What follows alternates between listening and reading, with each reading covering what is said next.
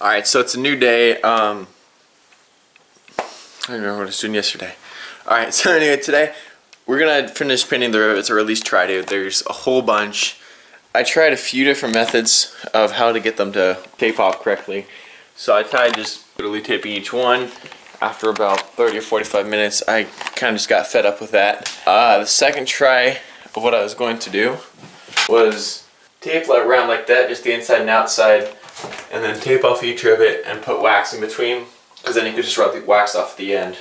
But what I decided to go with, which, see if that'll focus there. So half of these are primed, but what I went with is the little cardboard thing that I'd created, which I think is actually kind of cool. It is, boom. Turn this around again. It's just a little cardboard with a hole in the end. I cut that out, but I'm going to make a new one and drill it out just so it's a better hole and I don't have as much overspan the rivets. But yeah, so just do that, then put it in, do a quick squirt of the primer, and that works just fine. So I'm to go ahead and uh, build a new one, and then we'll just get back to spraying.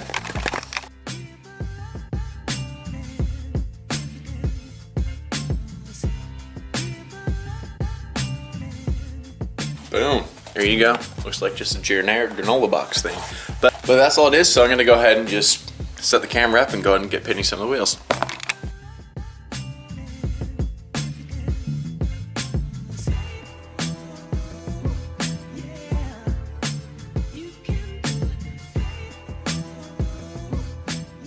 Alright, so I've been painting them up. I took a quick break because the only problem I have is that there's a little bit, let's see if you can focus it on I'll zoom in. A little bit of overspray you can see, just those drops. That's not from not from the hole not being right, the hole's great, but it's there's a little paint getting on that bottom right under there.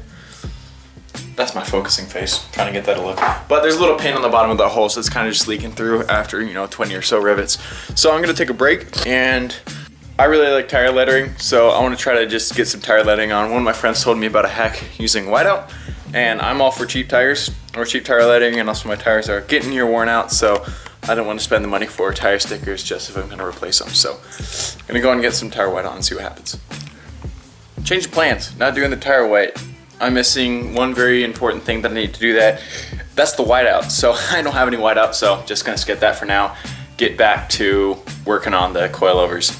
So I just said coilovers because I'm watching a video and they just took out coilovers. I went back to the wheels. So I'm not gonna film any more of the wheels for you. Maybe I'll, I'll, film a little bit when we do the color part, but right now it's just a lot of starting and stopping.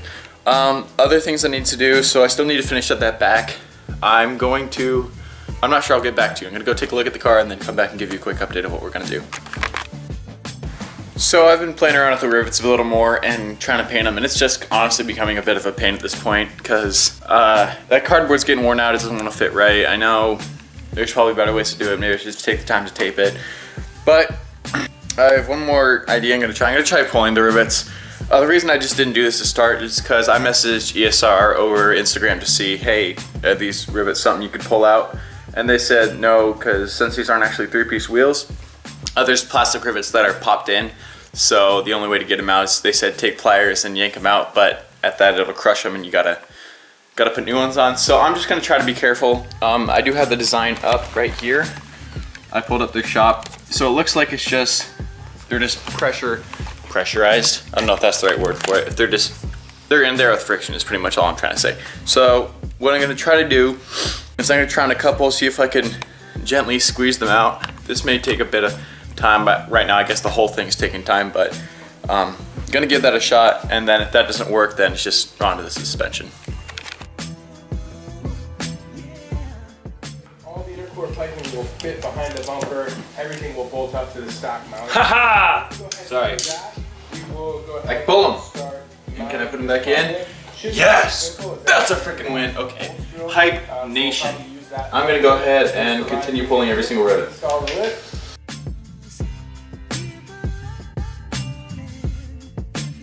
So I just finished pulling all the rivets. I was lied to, ESR. Now they're out. I think I realized that my voice is changing every time I talk. So that's dumb. But yeah, there's 40 rivets. That's one wheel. Three more to go. Oh yeah, my hand's getting a little tired I even after just doing those four. So, you know these ones that I primed? Waste of time. That's good to know. So back to it. So I just finished pulling all the rivets. Um, I was lied to, ESR. But now they're out. I think I realized that my voice is changing every time I talk. So that's dumb. But yeah, there's 40 rivets. That's one wheel. Three more to go.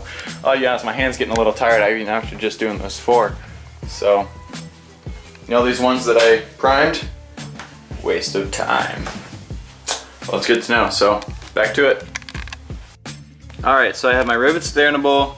I got my drill, have my drill bit, and I got a bunch of cardboard. So what I'm gonna do is there are a 160 rivets in there, so I'm gonna do rows of 10. I'm gonna see if I can do rows of 15, and then, I don't know. Anyway, I'm just gonna drill out 160 holes and put these all in. So enjoy the show.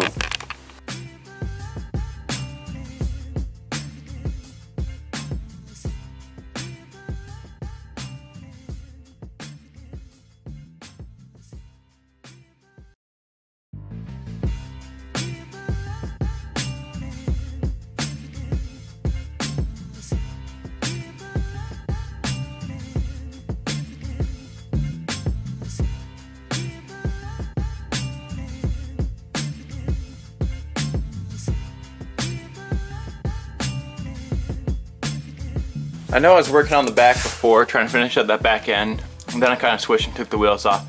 I think I'm just going to focus on the wheel wells for now because I do have a good amount of work. This is actually, um, aside from the body work and changing the color, this is the biggest thing that I need to get done. So things I need to do is, well, starting off with the coils, I need to adjust my coils. The thing was when I first bought my car, I was honestly, I was that immature car kid who kind of just put the coils on and put them on without knowing anything. So they're actually all at different heights because I'm such an idiot. So what I need to do is I need to pull the back two coilovers. Um, the fronts are actually fine, which is great. I'm pretty sure the fronts are fine. I, th I think the fronts are fine. I think I mentioned those and they're good. They're not clapping, so that's great.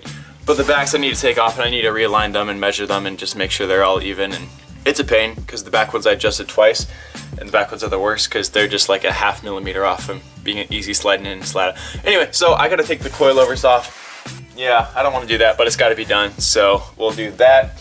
And I think I said yesterday I need to paint that red because it needs to be red. Um, I need to seal all this up, so I'm using actually just expanding foam in this area so I don't have to build a specific thing, which is working great. I just haven't finished because once you start a can, it's kind of weird to stop because then it fills itself. So yeah, there's that. Um, so I'm gonna go ahead see if there's anything. Also have to change my brake lines, though. I'm probably gonna wait for a friend to come over to do that because one, I've never done it before. Two, it's easier with two people. So, yeah. But I do have steel braided brake lines that I would like to get on because my front ones are starting to get worn out. I mean, they're 32 years old at this point, so yeah. Um, chum chum. Let's see. Let's start by. Ah, okay. Not entirely sure yet. I'm gonna say let's start with taking out the coils. Um, I'm gonna be running back and forth and painting the wheels inside, the rivets inside, and taking out the coils because I think what I will do is we'll get as much space as we can in here by taking out the coils, then, then I'll wait. I don't want to fill that just yet because I think there's some spots in the front that I need to fill as well. And like I said, once you start using your can, you kind of got to use it all at once. So yeah, let's just, let's start with taking out the coils. Take out the coils, get them all evened out, get them back on. Yeah, I have the measurements out, so let's go and do that. Let me shut up and we'll get that going. All right, so just quick little dive in while we're doing this. Uh, for anyone who has a Supra as well, like me, and you're a genius because you have one, in order to take out the suspension, you just need you need a 3 4 inch wrench and a 19 mil socket that I have on there and that's really all it is for the rears if you're just doing the bottom. Um, aside from the three bolts on top that we're not worrying about, um, it's just the three quarters on this, put the three quarters on this side, 19 on this side, unscrew, and it should pop right out. Though, something you want to do, and I'm going to grab really quick, is grab a jack stand for underneath here to support this up, because uh, if it drops, you don't want it pulling on the brake line. It shouldn't, but just to be safe, let's do that.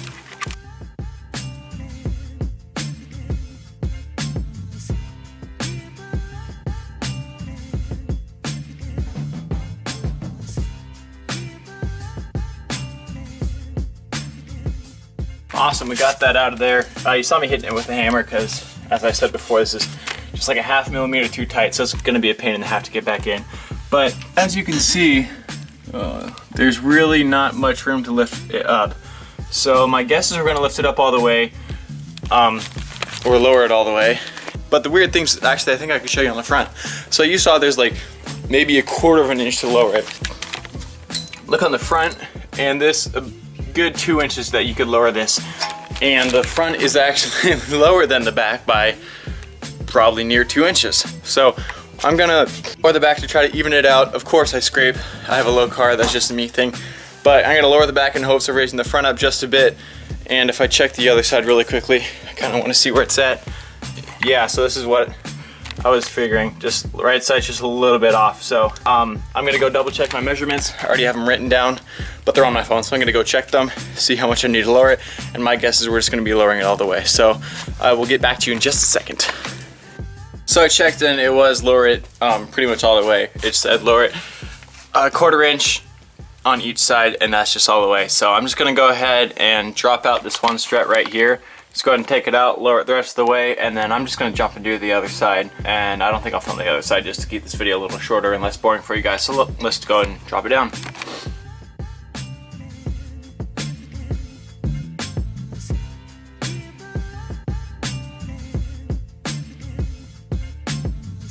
And boom, there you go. Uh, probably one of the quickest strut adjustments there is.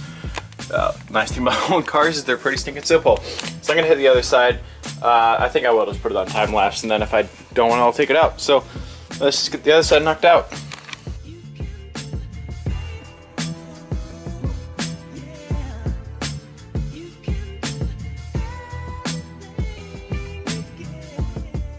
Alright, so that's it. Both sides are dropped for maximum lowness, which is freaking dope.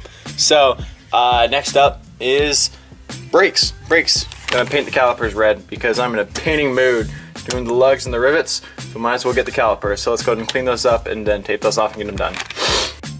Alright, so we're back and I'm gonna do, or I don't know if we ever left, but Alright, so what I'm to do next is I'm to be painting the brake calipers. I'm not to do a how-to video on this. I'm probably just to set it up the camera and go because there's there's enough videos out there already. So I figure one more.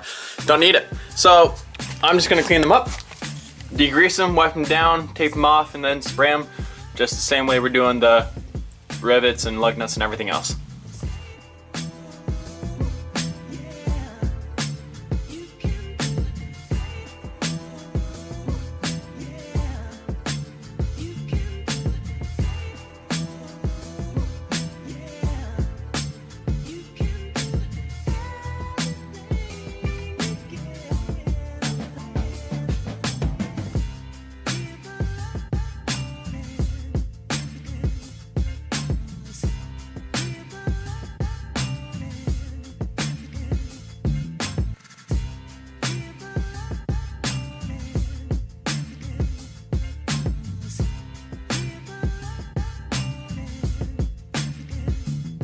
So I finished up painting the rivets.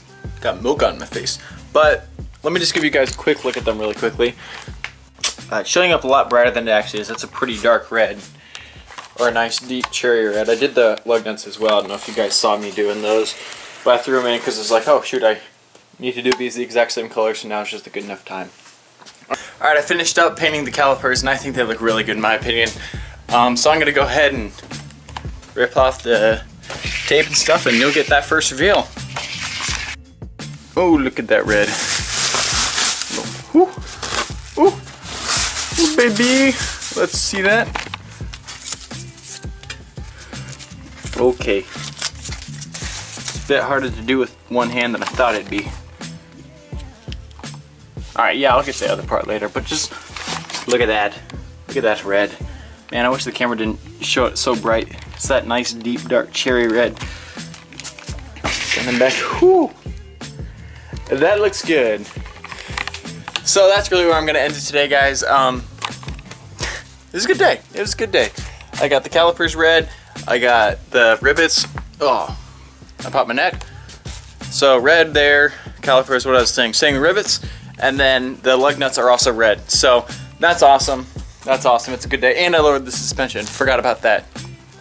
I just kind of want to paint the suspension red, but you know, I'm probably gonna hold off on that for now. Unless I decide not to hold off on it, then I will not hold off on it.